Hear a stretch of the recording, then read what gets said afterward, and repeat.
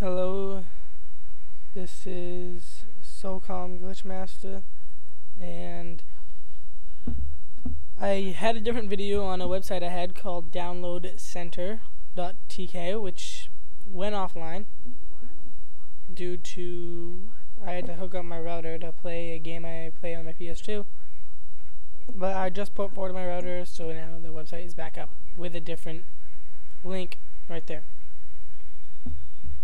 Um, I'm up.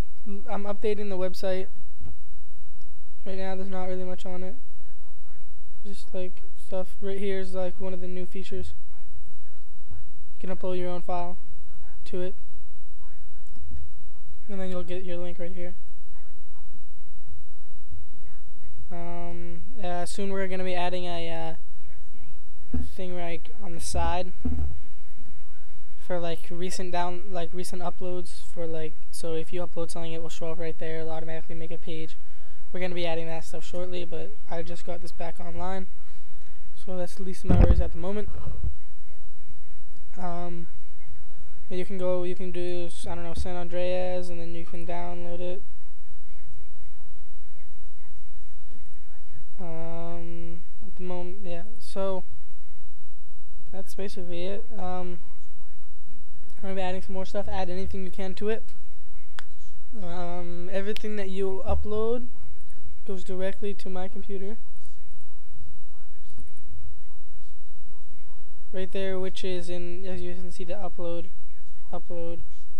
Therefore, your link for it will be upload, upload, and then file name. These two have been uploaded using this. So they go right here. Yours will do the same thing. So uh, that's all there is to say about the new download center. That's the link right there, downloadcentre.ath.cx.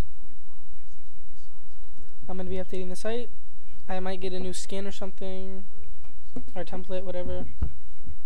So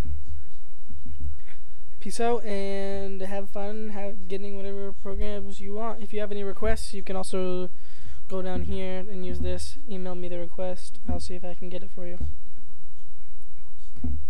So, peace. Have fun with getting cool programs like After Effects, Visual Basic, Google Earth Pro, and San Andreas. Many more to come. Peace.